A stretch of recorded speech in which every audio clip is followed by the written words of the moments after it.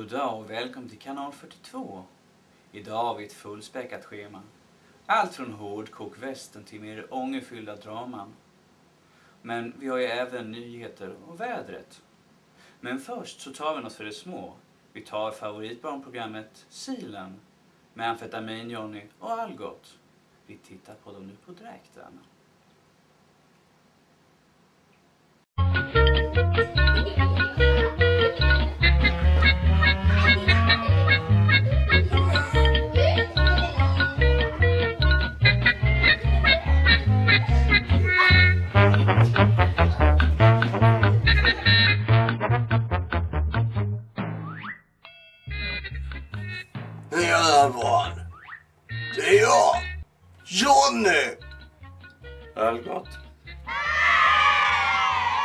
Jo, förstår ni ungar. Jag och Algot här. Jag funderar på om vi ska kunna nå upp till vår nästa kick. Så nu tänkte vi lära er hur ni gör en riktig redasoppa som skulle få den värsta pundaren att bli grön av avund. Exakt Johnny. Som ni alla ser så har vi en del goda grejer till vår eminenta soppa. Ja, som ni alla kidsen ser här. Grejer som ni kan hitta på ert närmsta skumma hörn av stan. Okej, då börjar vi. Ja. Och eh, bästa sättet att börja är att vi häller i lite hembränt. Sådär. Nu tar du Algot också. Okej, ja, och sen så var det, vi tar lite kokain i så. Vi kan, ja, ni kan egentligen ta egentligen vad som helst för knark ni hittar hemma. Så, tänk på att du ska blanda lite. Tänk på att inte blanda för mycket olika sorter va. Syra är gott, men inte syra som bränner hål rakt genom ens inre organ. Varsågod. Nu, är det klart Johnny nu ska vi bara testa skiten. Ja, egentligen, för sådana här saker va, så bör man testa skiten på en nära släkting eller vän. Och för detta ändamål så har jag bjudit in min lillebror Gösta! Ja, Johnny. Vi gör lite mumsig soppa. Smaka vet jag! Nej men vad snällt. Ja, gärna.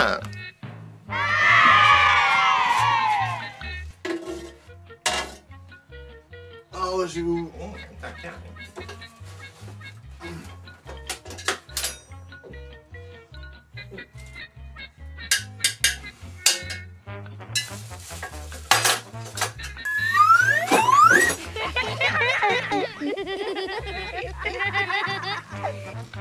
Ja, så kom ihåg ungar att testa på någon annan innan ni eh, dricker själva.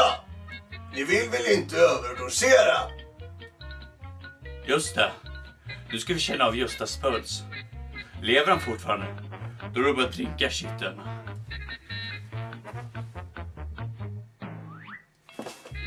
Schysst. Han har svag puls kvar. Ja, då så ungar. Då är det bara att köra på. Men nu är det dags för oss att lämna er. Men kom ihåg. Tjax, koks och HB. Allt för att slippa leva. Hej då!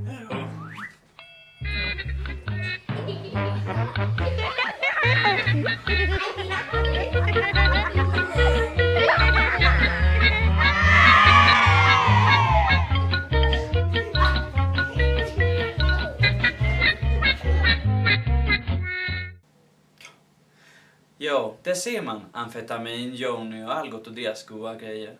Men nu blev alla barn glatt influerade så nu kan ni gå och leka lite grann.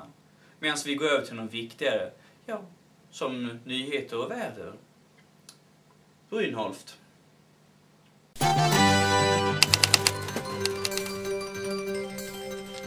Tack Clemens. Raskt till dagens nyheter. Inrikes. Idag har det fastslagits att Öbo byter namn. Detta efter de arga påtryckningar som har kommit från hyresgästerna. Företaget har nu tagit en mer ärlig approach, vilket man hoppas ska uppskattas. Dock vet man ej om det kommer att bära någon frukt, då namnet blir Slöbo med den fina sloganen Ni vet ju att vi skiter i er. En hit, eller början på Slöbos undergång. Om jag säger vax så tänker ni nog automatiskt på bin. Men så är det inte i det här fallet. Under veckan som har gått så har man hittat världens största vaxodling. Och inte i en bikupa utan i Örjan Rambergs huvud. Det var under en läkarundersökning som man hittade denna fantastiska upptäckt. Efter att man hade påbörjat avlägsna vaxet kom man till insikt att hela Örjans huvud var fyllt av det. Så efter proceduren så överlevde tyvärr inte Örjan Ramberg. Hans begravning sker inom en vecka. Han är dock med i Guinness rekordbok för att ha världens största vaxodling. Nu över till utrikes. Under natten till idag föll en för amerikanerna vidrig smitta. Från väst till östkusten har människor känt av smittan ödmjukhet. Så sen klockan 01.25 igår natt så har varje inskränkt historievrängande dryg amerikan känt av smittan ödmjukhet. Ödmjuka i att inte vara det enda landet i världen. Vetandes om att det finns andra länder där ute som är minst lika bra, om inte bättre. I feel like a completely new person. Almost normal even, säger Jock Roxon från Texas. Vi håller oss kvar i USA för mera nyheter. Efter många års letande i de klippiga bergen efter dinosaurieben så har man äntligen gjort ett fynd. Men Det är inte riktigt vad man har räknat med. Det var tre amerikanska panteologer som gjorde det makabra fyndet. En jättebäver, eller benen av den i alla fall, hittades. De studeras just nu för tillfället och det lilla man har fått fram så tyder det på att bävern var tre meter hög och köttätare. Bävern ska ha levt någon gång under istiden. Detta har stor betydelse historiskt sett. Troligen så skulle den varit farligare än Smilodon, den sabeltandade katten. Och med sina jättetänder kunde den krossa vilket levande djur som helst, säger chefspanteolog John Smith. Utgrävningar kommer att fortsättas vid samma ställe som man hittade bävern och förhoppningsvis hitta flera jättebävrar. Man har döpt bävern till Bävrius enormus. Men nu över till vädret med Nisse. Så Nisse, hur ser vädret ut? Va? Jag har ingen aning. Jag är bara vaktmästare här. Ja, tackar. Vi får väl titta ut genom fönstret nästa gång och rapportera exakt hur det ser ut. Nej, det var allt vi hade för idag. Vi önskar att ni kommer och se oss vid nästa sändning. Tackar.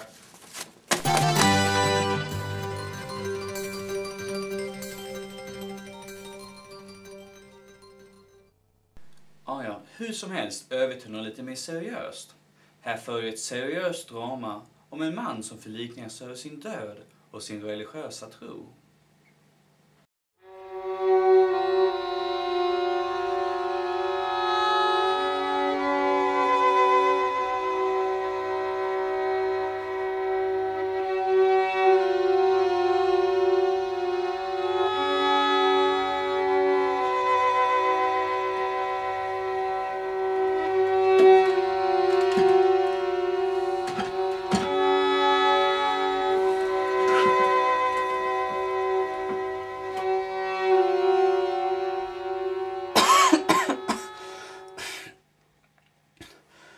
Jag till Gud nu? Ja, Gunnar. Du kommer till honom nu. Vilken av dem? Ja, Gud såklart.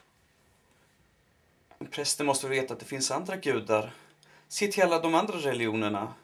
Ja, det är ju för alla samma Gud.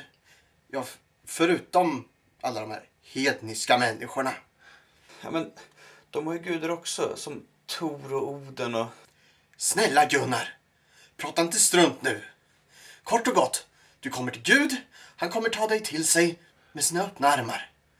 Han kommer... Tänk om jag ändrar mig? Gunnar, vad menar du nu? Jag tänkte ifall jag tar och byter religion lite snabbt till till exempel hinduism så får jag komma tillbaka. Gunnar, varför tror du det? Det är väl den religionen som tror på reinkarnation. Men vill inte Gunnar träffa Gud? Jo, visst vill jag det, men... Kan inte vänta ett tag? Kan, kan jag inte få komma tillbaka hit ett par gånger och sen när jag känner mig redo kan, kan jag gå till Gud. Gunnar, jag tror inte det går till på det sättet. Jo, det måste gå. Jag, jag tror att jag gör det. Ursäkta? Vad skulle du göra, sa du? Jo, så får det bli. Jag byter religion. Jag tror mer på hinduism eller buddhism eller vad det är för någonting. Tillika så reinkarnation. Ja. Nu är det gjort. Vad säger du? Är du galen människa? Då somnade Gunnar in för gott. I alla fall i detta livet. Prästen svor till av det grövsta för att han aldrig hann prata ut med Gunnar och brände sig så tillika att han efter livet for till helvetet. Gunnar kom tillbaka som en björk som växte upp och han svajade ett bra tag i de varma och kalla vindar som sveptes över honom. Tills en skogshuggare kom förbi och högg ner honom. I det livet slutade han som parkettgolv.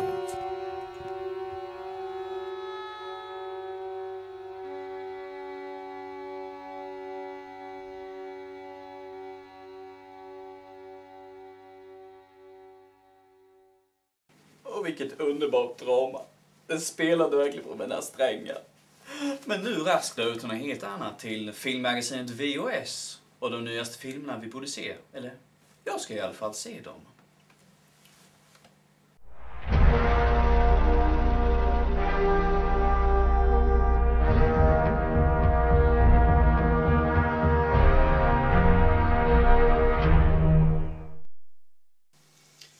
Hej och välkomna till VOS. Idag ska vi kolla på lite nya filmer som vi ska diskutera lite mera om senare. Vi har till exempel den mycket omdebatterade filmen Medaljongens förbannelse. Sen har vi en mycket långlivad filmserie i Rocky 17. Och sen har vi den nya Terminator-filmen Tea and Coffee. Ett lugn fanns över stugan. En gemenskap av glädje och hopp. Glada dagar helt utan orosmoln. Men ondskans ansikte var på väg att avslöjas. Ondskan var på väg. Ondskan hade vaknat. Kommer de överleva eller gå under?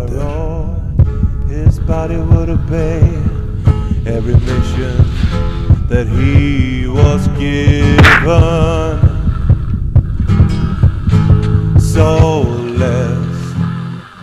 It feels like I'm soulless, like a nation to destroy. Var det en dröm eller var det verklighet? Medaljongens våld är inget som det till synes var. Never mind if they are dead to me or not.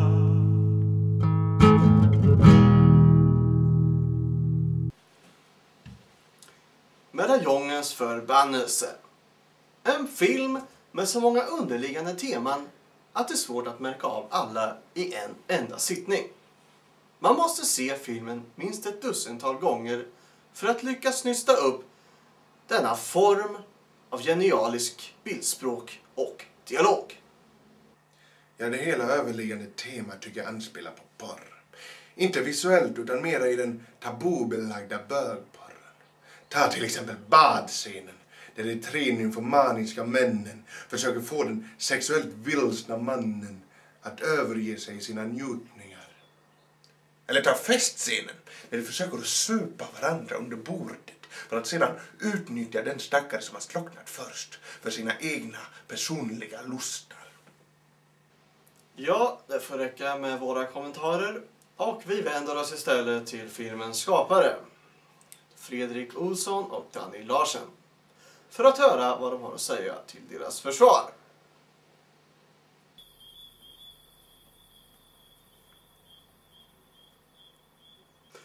Vad vill ni ha sagt med eran film?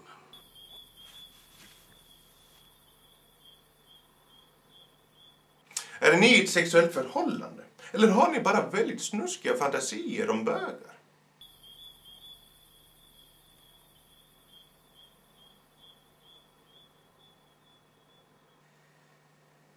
Ja, vi kan då snabbt gå över till att betygsätta filmen då vi inte riktigt fick den respons vi ville ha. Jag ger filmen tre kassetter av fem möjliga då jag tyckte att budskapet i filmen inte var så tydligt som det borde. Jag tycker då att filmen inte förtjänar mer än tre kassetter. Den har förvisso en bra story och kan bli något, men bögtemat är alltför påträngande. Nej, snusk hör inte hemma i film.